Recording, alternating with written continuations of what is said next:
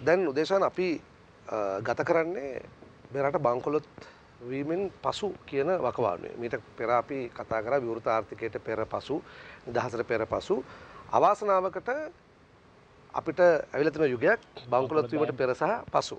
හැබැයි මේක එක්තරා විදිහකට බ්ලෙසිං ඉන් ඩිස්ගයිස් වගේ යම්කිසි වාසනාවන්ත තත්ත්වකුත් තියෙනවා. මොකද මෙතුවක් කල් මේ රාජ්‍ය තන්ත්‍රණය දිහා මිනිස්සු බැලුවේ රජයපත් කරේ බද මම ඡන්ද ගැහුවේ නැත්තම් මේක අපේ අපේ රජය නෙවෙයි මේක යාළගේ රජය ඒ නිසා අපි මේකට සම්බන්ධ නැහැ කියන තැන තමයි මිනිස්සු හිටියේ. හැබැයි අද සමස්තයක් විතර අපි හැමෝම ඇවිල්ලා තියෙනවා නෑ. රජය කියන්නේ ආණ්ඩුව කියන්නේ අපිව නියෝජනය කරන්නේ. මම ඡන්දය ගැව්වා ඕන කෙරුවා.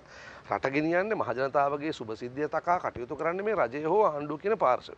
ඒතර විපක්ෂය කියන පාර්ශවය වක්කීම තමයි මේ ආණ්ඩුව රජය හරි මාර්ගයට ගන්නට හඬක් නැගීම. ඒ පිළිබඳ මම දකිනවා විශේෂයෙන් ඔබ මාධ්‍යවේදියෙක් නිසා ඔබ පිළිගනි. අද ජනතාව අතර පුළුල් කතිකාවතක් ඇති වෙලා තිබෙනවා කොහොමද අපි රාජ්‍යත් සමග ගනුදෙනු කරන්න ඕනේ කියන එක. ඉතින්දී අපි මම දකිනවා ඒ රාජ්‍ය ආණ්ඩුව ගැන විවේචන ප්‍රශංසා ගෙරවුම් ගැරහිලි ඔය හැමදේම තියෙන එක ඒක හොඳයි. ප්‍රජාතන්ත්‍රවාදී සමාජයක් තුළ ජනතාව මේවා පුළුල් ලෙස සාකච්ඡා කිරීම ඉතාම හොඳ කතන්දරයක්. එතකොට දැන් බංකොලොත් වීමට පෙර කියන වකවානුව ගත්තොත් අපි කවදාවත් මේ රටේ තිබුණු ප්‍රශ්නය ආර්ථික ප්‍රශ්නය අපි ඇත්තටම කතා කරාද කියන දේ අද අපිට තේරෙනවා. අපි අවංකවම ආර්ථික ප්‍රශ්නය කතා කරා නම් ඒ ආර්ථික ප්‍රශ්නය මෙතරම් බරපතලයි කියලා හිතනවා නම් විශේෂයෙන්ම මා නියෝජනය කරන මගේ පක්ෂයත් මෙතන මේ සියලු දෙනා නියෝජනය කරන දේශපාලන කඳවුරු මීට වඩා පුළුල්ව මේ ගැන හිතන්න තිබ්බා. එහෙම ඉඟියක් දැගුණුනත් දේශපාලන බලය වෙනුවෙන් ඒ ඉඟිය පසකලා නොයෙකුත් ආකාරයේ දේශපාලන උපායන් වලින් බලය ලබා ගැනීම තුළ නැත්තම් ආර්ථිකය තුළ අමතක කිරීම නිසා තමයි මේ තත්ත්වය ඇති වුනේ. එහෙමනම් දැන් අපිට අවිල්ලා තිබෙන සංදිස්ථානය තමයි අපි විහිං බංකොලොත් කියලා ප්‍රකාශ කළ අතර අපි කරේ අපිට ඩිෆෝල්ට් ස්ටේටස් එකක් ආවේ. අපිට ගෙවා ගන්න බැරි තත්ත්වයක් තමයි ඇති වුනේ. නමුත් අපි විහිං අපි බංකොලොත් කියලා කියලා ඊට පස්සේ ලෝකයේ ලෝකයේ අපි දිහා බැලුවේ දැන් ලංකාව කඩා වැටලා ලංකාවේ ආර්ථිකය ඉවරට ඉවරයි. ලංකාවත් එක්ක අපිට ගනුදෙනු කරන්න බෑ. ලංකාව විනාශ මුඛයට ලක් වෙනවා කියන දේ බලපු වකවානුවක තමයි මේ සියලු විපර්යාස සිද්ධ වෙන්නේ. එතකොට දැන් අපිට තියෙන අභියෝගය මොකද්ද? රට තිබුණු තැනට ගෙනියනවද? නැත්තම් මේ වෙච්චි දේන් පාඩමක් ඉගෙනගෙන තිබුණු තැනට වඩා ඉස්සරහට ගෙනියනවද කියන එක. ඒතර ඕකට තමයි ජනතාව ඉතාම සාධාරණයි සිස්ටම් චේන්ජ් කියලා හැම වෙලේම ඉල්ලුවේ. ඒතර මේ සිස්ටම් චේන්ජ් එක වෙන්නේ කොහොමද? අපේ මතවලින් පමණක්ද සිස්ටම් එක චේන්ජ් වෙන්නේ? එහෙම නැත්නම් මා නියෝජනය කරන හෝ මෙතුමල් නියෝජනය කරන පක්ෂවල ලාංඡනය වෙනස් වීමෙන්ද නියෝජනය වෙනස් වෙන්නේ? නායකයන් මාරුනාමද මේ සිස්ටම් එක චේන්ජ් වෙන්නේ?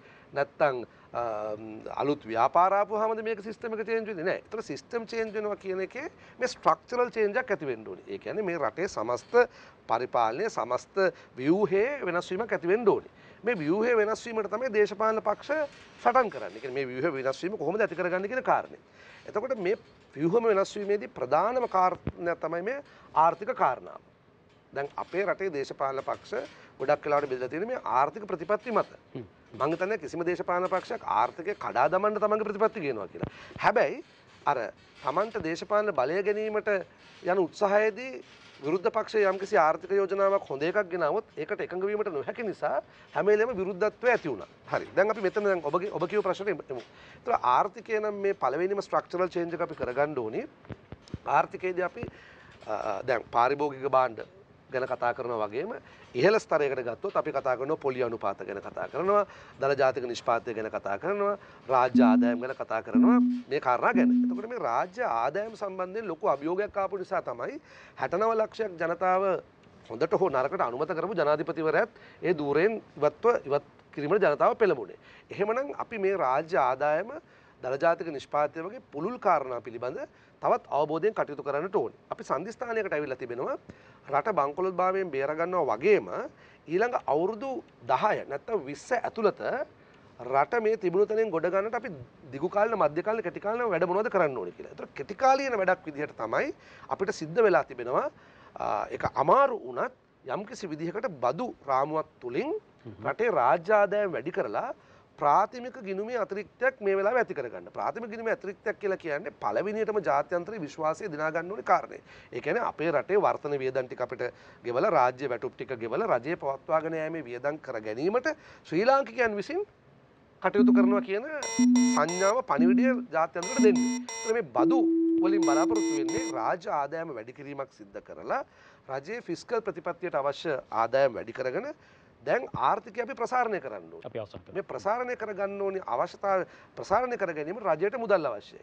ඉතින් එතෙන්දි මම දන්නවා මහජනතාව කැපකිරීමක් කරලා තිනවා. ඔබත් මාත් අපි හැමෝම කැපකිරීමක් කරලා තිනවා. අපිට නුහුරු නුපුරුදු ටැක්ස් රෙජිම් එකක් අපි ඉන්නේ. ඒ කියන්නේ අපිට මේ අපි මේ බදු ගැන අපි හැම වෙලේම වපරහින් බැලුවේ. ඉතින් මම හිතනවා මේ ගන්නා බදු මුදලින් හෝ ජනතාවට සෙතක් සැලසෙන විදිහේ පරිසරයක් මේ රටේ ඇති වෙන්නට ඕනි කියලා. ඒ ගැන මම දෙවෙනි වටේදී කතා කරනවා. අවසන් වශයෙන් මම කියන්න ඕනි ටින් එකටවත් බදු වලටවත් බය වෙලා අපිට මේ රට හරවන්නට බෑ. මේ සාකච්ඡාව තව තවත් පුළුල් වෙන එක ඉතාම හොඳයි. විවේචන තිබේ, ප්‍රශංසා තිබේ. මේකට ලකුණු ගන්න අයෙන්දී, ලකුණු නොදෙන අයෙන්දී. හැබැයි මම මේක දකින හොඳම පොසිටිව් පැත්ත තමයි මහජනතාව දැන් මේ බදු ගැන, ටින් ගැන මේවා ගැන පුළුල්ව කතා කරනවා. ඒ කියන්නේ අලුත් දේශපාලන සංස්කෘතියක් පටන් ගන්න හොඳම කාලයක් ඇවිල්ලා. මොකද මහජනතාව රටේ ප්‍රශ්න ගැන වෙනදාට වඩා බුද්ධියෙන් කතා කරන පරිසරයක් අද ඇති වෙලා තිබෙනවා.